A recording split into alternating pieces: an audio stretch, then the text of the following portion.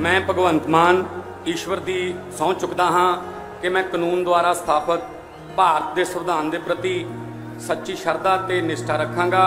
ਕਿ ਮੈਂ ਭਾਰਤ ਦੀ ਪ੍ਰਭੂਤਾ ਅਤੇ ਅਖੰਡਤਾ ਨੂੰ ਬਰਕਰਾਰ ਰੱਖਾਂਗਾ, ਕਿ ਮੈਂ ਪੰਜਾਬ ਰਾਜ ਦੇ ਮੁੱਖ ਮੰਤਰੀ ਵਜੋਂ ਆਪਣੇ ਕਰਤੱਵਾਂ ਨੂੰ ਵਫਾਦਾਰੀ ਤੇ ਸ਼ੁੱਧ ਅੰਤਕਰਨ ਨਾਲ ਨਿਭਾਵਾਂਗਾ ਅਤੇ ਮੈਂ ਭੈ ਜਾਂ ਪੱਖਪਾਤ, ਸਨੇਹ ਜਾਂ ਦੁਰਭਾਵਨਾ ਬਿਨਾ ਸਭ ਤਰ੍ਹਾਂ ਦੇ ਲੋਕਾਂ ਦੇ ਪ੍ਰਤੀ ਸੰਵਿਧਾਨ ਅਤੇ ਕਾਨੂੰਨ ਨੂੰ ਅਨੁਸਾਰਤਾ ਵਿੱਚ ਨਿਆਂ ਕਰਾਂਗਾ मेरे चेहरे से पता लग रहा हूँ मैं किमें महसूस कर रहा हूँ मैं मैं आज बहुत खुश हूँ और उम्मीद करता हूँ कि पंजाब भी खुश और खुशहाल हो ਮਾਨ ਸਾਹਿਬ ਬਹੁਤ ਸਮੇਂ ਤੋਂ ਤੁਸੀਂ ਅਹ, ਆਮ ਤੌਰ ਤੇ ਪਬਲਿਕ 'ਚ ਵਿਚਰ ਨਹੀਂ ਰਹੇ ਸੀ ਦੇਖਣ ਕਿ ਅੱਜ ਆਏ ਹੋ ਬੜੀ ਰੌਣਕ ਹੈ ਚਿਹਰੇ ਤੇ ਇਸੇ ਅਹ, ਪਲ ਦੀ ਉਡੀਕ ਸੀਗੀ ਭਗਵੰਤ ਮਾਨ ਇਹ ਸ਼ਹੀਦ ਆਜ਼ਮ ਭਗਤ ਸਿੰਘ ਦੀ ਨਗਰੀ ਦੀ ਜੋ ਖੁਸ਼ੀ ਹੈ ਪ੍ਰਭੂ ਉਹਦੇ ਚਰਨਾਂ 'ਚ ਆ ਕੇ ਬੰਦਾ ਵਿਨਮਰ ਹੋ ਜਾਂਦਾ ਹੈ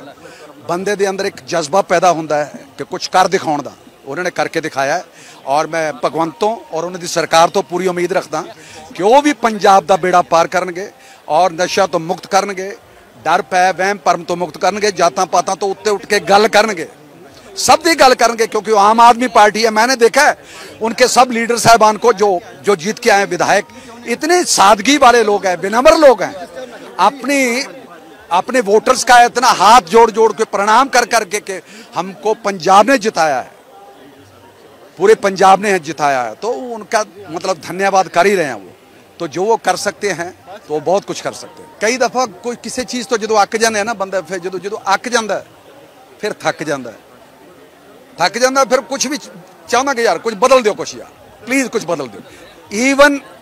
चैनल देखते देखते भी असी एक चीज़ तो आगे जाना ना यार चैनल बदलो प्लीज़ ये चैनल बदलने वाली बात। और ये खूबसूरत बात है कि पूरे पंजाब ने इन लोगों को मौका दिया है मौका दिया है।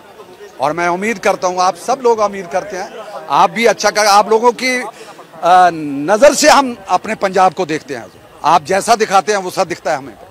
सो आप भी अच्छा अच्छा दिखाएँ और जो अच्छा है अच्छा दिखाएँ। अगर बुरा है तो बुरा दिखाएँ।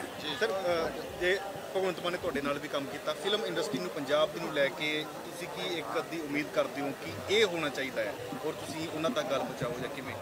ਮੈਂ ਤਾਂ ਪਹੁੰਚਾ ਚੁੱਕਿਆ ਹਾਂ ਉਹਨਾਂ ਦੇ ਜ਼ਰੀਏ ਕਿਉਂਕਿ ਮੇਰੇ ਨਾਲ ਗੱਲਬਾਤ ਹੁੰਦੀ ਰਹਿੰਦੀ ਹੈ ਕਿਉਂਕਿ ਉਹ ਜਾਣਦਾ ਉਹ सब कुछ जानता मैं तो बेहतर जानता हूँ क्योंकि मैं पॉलिटिकल नहीं हूँ पॉलिटिक्स में नहीं हूँ क्योंकि वो पॉलिटिक्स में होके अपने दुनिया के मसले जानता है कि कौन कौन से मसले हल करने वाले हैं। क्योंकि उसने जमीन पे रह के ਲੋਕਾਂ ਕੇ ਘਰੋਂ में ਜਾ ਜਾ ਕੇ ਮੰਜਿਆਂ ਤੇ ਬੈਠ ਬੈਠ ਕੇ ਪੀੜੀਆਂ ਤੇ ਬੈਠ ਬੈਠ ਕੇ ਲੋਕਾਂ ਦੇ ਵਿੱਚ ਪੰਚਾਇਤਾਂ ਦੇ ਵਿੱਚ ਬੈਠ ਬੈਠ ਕੇ ਉਸਨੇ ਲੋਕਾਂ ਦੇ ਮਸਲੇ ਸੁਣੇ ਔਰ ਮਸਲੇ ਹੱਲ ਕੀਤੇ ਯੂਥ ਲਈ ਅਹ, ਕੀ ਤੁਸੀਂ ਕਹਿੰਦੇ ਹੋ ਵੀ ਆ ਯੂਥ ਹੀ ਆ ਜਿਹੜਾ ਸਾਰੇ ਪਾਸੇ ਬਸੰਤੀ ਪੱਗਾਂ ਨਜ਼ਰ ਆ ਰਹੀਆਂ